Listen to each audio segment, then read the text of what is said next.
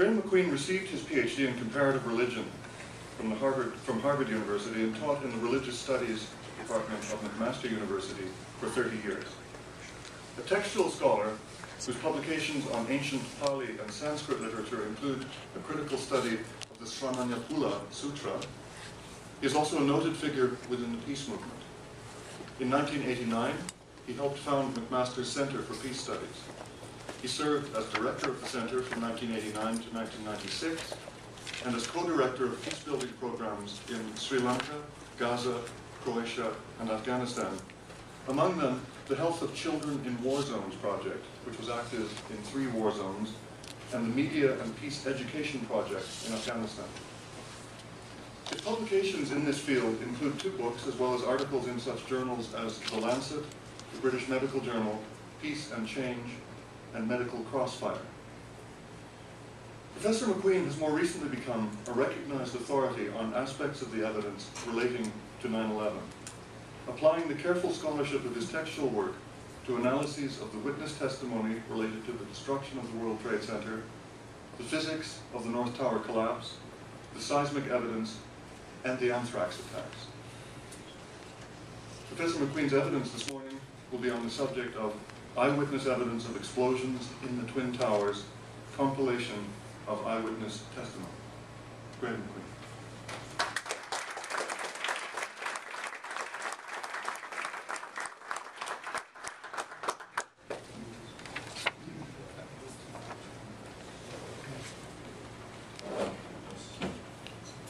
Perhaps someone could tell me which computer my presentation is. It's on the right, it's on the back here. Thank you. Yes, we'll, uh, we'll do this.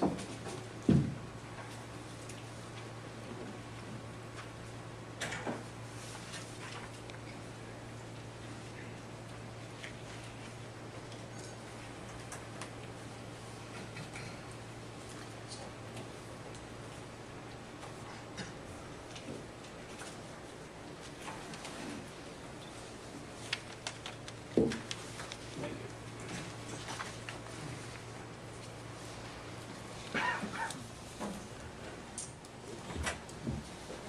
Can you hear me? Yes. Good. That's okay. I put it down. Well, good morning, and uh, thank you for that very kind introduction, Michael. As you know, some of us think that the three buildings at the World Trade Center, buildings one, two, and three, were brought down through a process of controlled demolition.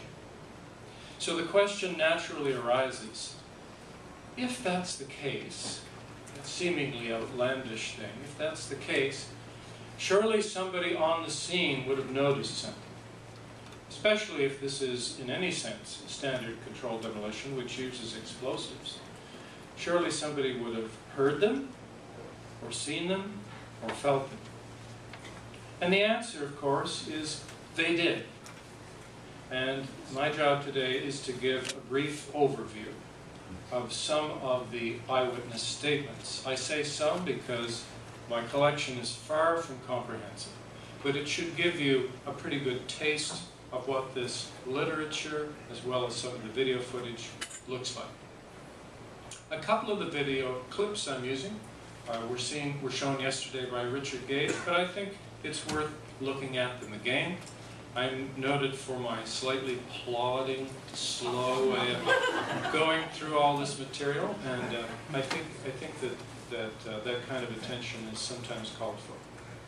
Now, some some people would like to uh, cut off this inquiry at the root by suggesting that eyewitness statements are uh, irrelevant.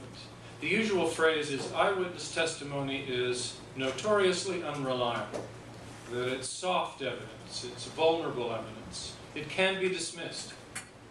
I'm not going to spend too long on this objection because I think it's extraordinarily weak. I think it finds no support from the careful, careful social scientific study of eyewitness evidence, which has gone on for decades, nor does it find support from the use of eyewitness testimony in the legal framework. Moreover, one of the gold standards on the investigation of explosions as well as fires, the National Fire Prevention Association handbook says very clearly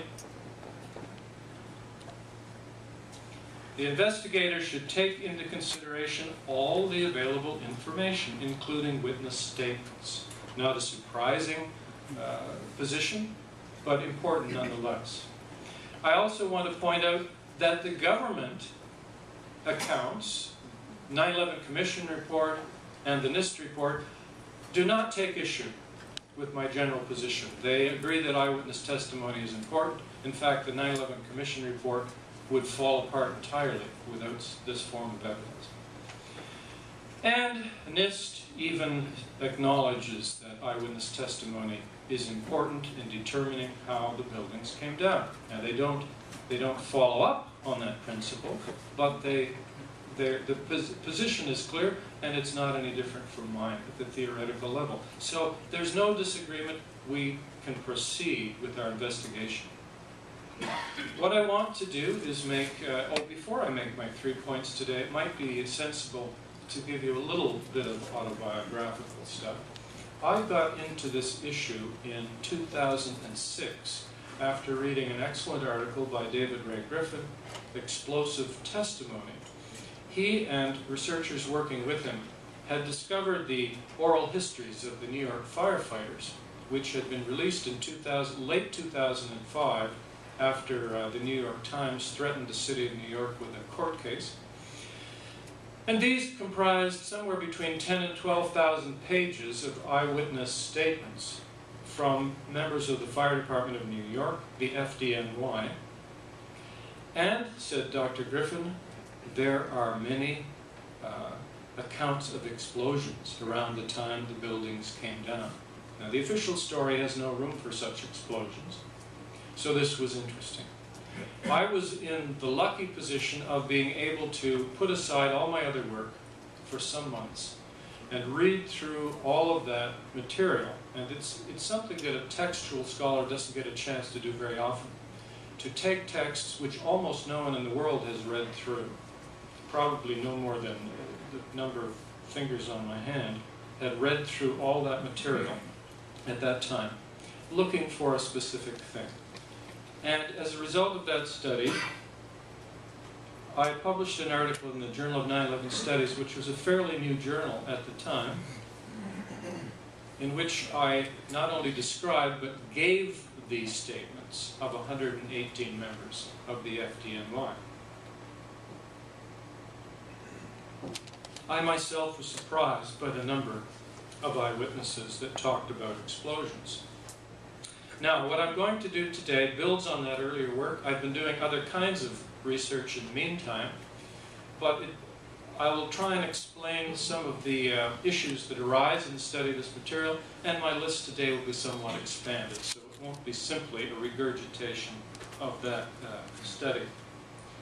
Three points I want to make today. First, the conviction that the towers came down because of explosions as opposed to structural failure, was common in 9/11. And this is my typical very cautious statement. I mean, it was common is an understatement. It's all over the place in that. Secondly, there is substantial eyewitness evidence supporting this conviction. And third, this eyewitness evidence has been ignored or suppressed by the 9/11 Commission and the National Institute of Standards and Technology. We begin then with the conviction that the towers came down because of explosions was common. Now, why is this even important?